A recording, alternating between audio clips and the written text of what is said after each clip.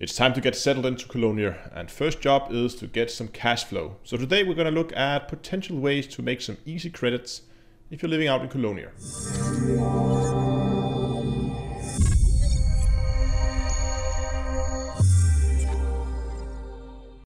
Today's video is sponsored by Skillshare. If you have any creative hobby like photography, video editing, animation or graphic design, then Skillshare is definitely the place for you. They have thousands of video classes by professionals in their field, neatly divided into chapters which makes them easy to follow at your own pace. If you sign up with the link in the description, you will get two months of free premium membership. And if it turns out it's not your thing, just close your account and it won't cost you a penny. So stay curious, learn a new skill with Skillshare. Hello ladies and gentlemen, and welcome back to Elite Dangerous with Down to Earth Astronomy. So, again, we are continuing the little journey out here in Colonia, and the first step will be to get some cash rolling in. I have different plans for how we could do this. I mean, we could begin to look at different missions and something like that. But I think my go-to, and that was the plan from when I left, was to try and do some kind of um, uh, mining. I'm not sure which type is most effective at the moment, but um, I think the first thing I want to do is to go in and have a look at prices out here in Colonia to try to get a feeling for what kind of price I could probably expect to get for the different materials so I know what materials to go for. Okay, so here's my plan. I'm just going to take some of the more valuable materials like low temperature diamonds, monazite, pretty much anything that has a uh, an average sell price of, I don't know, higher than 100,000. Um, that is actually mineable material. Like, so do we get painite as well? Okay, let's see what we have here. So low temperature diamonds, the best I've been able to find. There are several stations out here that's pretty stable it seems, where I can get round about 600,000 credits per ton, which of course is like compared to what we get, we can get in the bubble. We get the 1.2, right? So we're going from 1.2 to about 600,000. We can some places get a little bit higher, but again, market change, we can't always be sure that we're going to be able to get over the 700,000, but we can probably expect to have half the outcome or half the price when it comes to low temperature diamonds compared to what we would get at the bubble. So we're going to keep that in mind. Then we have monazite here, 300,000. That's probably not going to, then I would much rather go and do laser mining for low temps. I think that's faster. Let's close that one. And what about this one? 800,000. This is a core material, core deposit. So um, 800,000 for core material versus potentially around 600,000 for a uh, for a mineable material like low temps here. Um, how stable is this? Again, there's only really two stations here. And again, if that's not a lot. I mean, this is only in one system, right? So if this one system goes out of its current state, uh, its, its current favorable state, it's probably the same one as over here, right? Yeah, same stations. If that goes out of that state, then we're down to what 600, which and if that goes out of that state again, then we're bound to something stable around 400,000. So I would probably rather go for low temps here again, laser mining low temps for uh, 600,000 than I would go for core deposits at 400,000. Again, you can laser mine materials a lot faster than you can can do it with um, um, with core mining. Oh, but that oh, but how fast can we mine low temp diamonds with uh, we don't have hotspots? Hold on.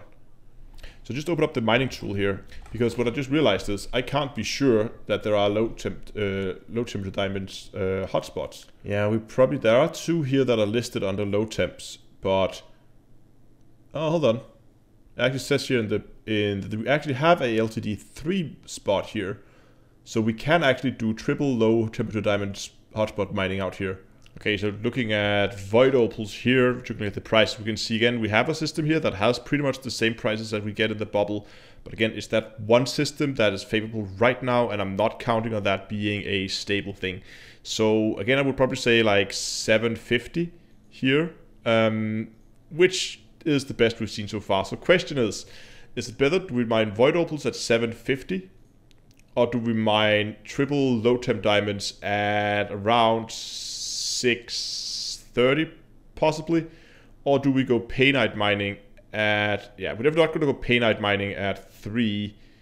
Or do we actually? No, probably not. Okay, so four, sorry, 400,000 for um, for painite. Okay, so the ratio between the max sell price of low temps compared to uh, to painite seems to be about the same, like the ratio between what you get. Only that the prices are a lot lower out here in uh, in Colonia. Um, actually, I think core mining might be the way to go. Um, it also works well with the uh, um, with a ship like a Python. We can do it in a smaller ship, meaning that uh, that we don't have to go back as often because we don't need that much cargo. So I think what I'll actually be doing is making myself a core mining ship uh, out of a Python. Okay, so this is the ship that I've been flying. My Python has been flying all the way out here so far. And I think it's time to give this thing a refit. And I'll refit this for money making. We can always then use that to make money to buy more ships. Um, I'm not going to sell anything. I'm just going to store things for now because I'm not really sure what's available out here. Um, again, the fuel scoop, I'm not so sure if we're going to need it. I mean, I think the Python, like, fully fitted can possibly go at least 100, maybe 120 um, on a tank of fuel. And especially if we get if we begin to engineer it, we'll be able to go even further. And again, with, with having like 30 light years, 40 light years uh, on average, like between spots, we can poss possibly get something really, really close to a good sell spot. So I think I'll take this one and transfer this into storage as well. Okay, so 192 cargo selling at 750. That should bring us in like 140-ish? Yeah, 140, I think, um, millions credits per trip which is okay for for core mining, I think. Um, what do we want? to Do want more collectors just to be even quicker? You know what? We don't really need the extra power, but the small amount that we have. Oh, hold on. We need. Oh, of course. Haha, I was about to forget. Pulse wave scanner. And that's gonna eat up some power. So we get a good one. There we go. It's not a whole lot of shield, but it will have to do. I think this is going to be um, is going to be my mining ship. It's not the most fancy, it's not the most well planned or thought out or anything like that, but it's gonna get the job done, and this is going to ensure that I can actually get some. Um, I just quickly want to go see what kind of ships. Actually, pretty well. Eagle Adder, Viper, Cobra, Scout, Dolphin, Keelback.